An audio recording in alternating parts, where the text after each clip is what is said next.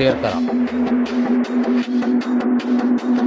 पुण्यश्लोक छत्रपती शिवाजी महाराज की. जय शिवाजी. जय भवानी. हर हर. हर हर. नमस्कार मित्रांनो खानापूर लाईव्ह न्यूजमध्ये स्वागत. आज मंगळवार दिनांक एकोणतीस रोजी आपला श्रावण मास प्रवासाचा रायगड किल्ला दौरा झाला.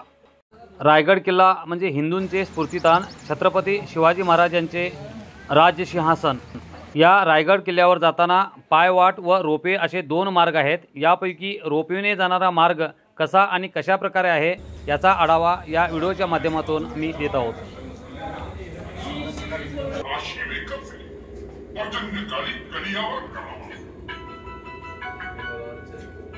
okay. आपण जेव्हा वर पोहोचू तेव्हा अवघ्या चार मिनिटात एकशे पन्नास मजली इमारत एवढे उंच आलेले असू.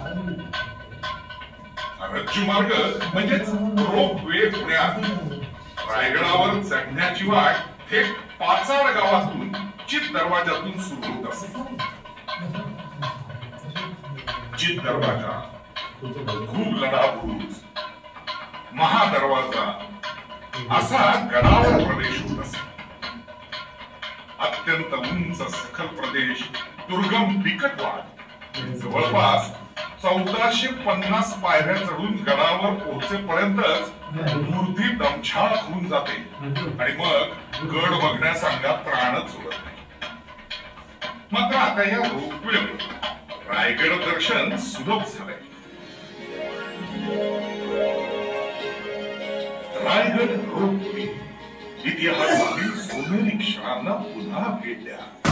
रोपवेने कडावर केवळ चार मिनिटात काळ्या कातळाच्या त्या महाकाय गडाच्या साक्षीनं सभोवताच विहंगम दृश्य न्याहाळीत. रोपवेचा प्रवास म्हणजे एक रोमहर्षक अनुभव. रायगडाचा अनुभव घ्या.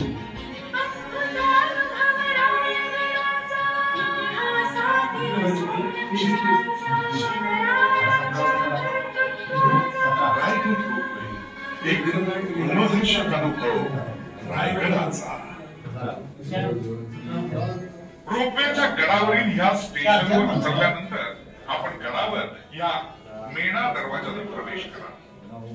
राज्याचं कामकाज पाहण्यासाठी लागणाऱ्या खर्चेरे राण्यांचं निवासस्थान म्हणजे राणी वसा गडावरील मुक्कामी असलेल्या प्रजेसाठी अनेक दिवस पुरतील असे खाद्य कोठारे